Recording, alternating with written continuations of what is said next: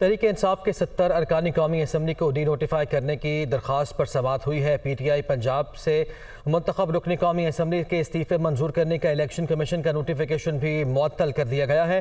Lahore high court ने पंजाब के M N as की हद तक जिमनी इलेक्शन भी रोक दिए हैं। तफसरा जान लेते हैं हमारे नुमाइंदे मोहम्मद अशफाक हमारे साथ मौजूद हैं। अशफाक का कीजिएगा?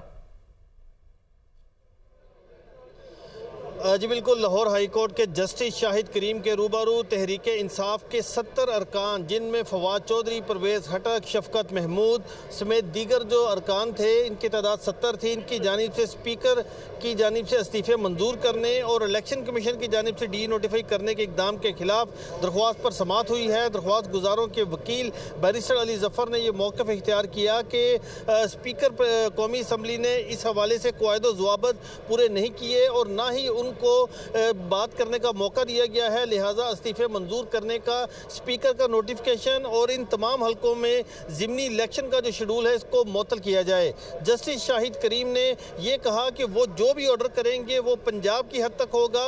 लिहाजा पंजाब की हद तक जो तहरीक इंसाफ के अरकान के इस्तीफ़े मंजूर हुए और इलेक्शन कमीशन उनको डी नोटिफाई किया और इलेक्शन कमीशन के इस नोटिफिकेशन को अदालत ने मअतल कर दिया है और फौरी तौर पर पंजाब की हद तक जो एन एम एन एज के इलेक्शन हो रहे थे उसका शेड्यूल भी अदालत ने तहुकम सानी मुतल कर दिया। अदालत ने यह करार दिया कि जहाँ तक स्पीकर के नोटिफिकेशन की बात है इस्तीफ़े मंजूर करने से मुतलिक उस हवाले से सात मार्च को दलाइल सुनकर अदालत उस पर फैसला करेगी।